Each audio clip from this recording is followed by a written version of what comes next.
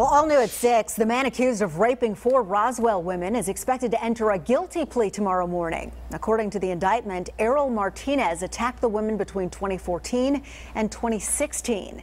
Now, in three of the incidents, prosecutors say Martinez violently assaulted the victims in their own homes. He's also charged with rape in a fifth incident in Gwinnett County. Russ?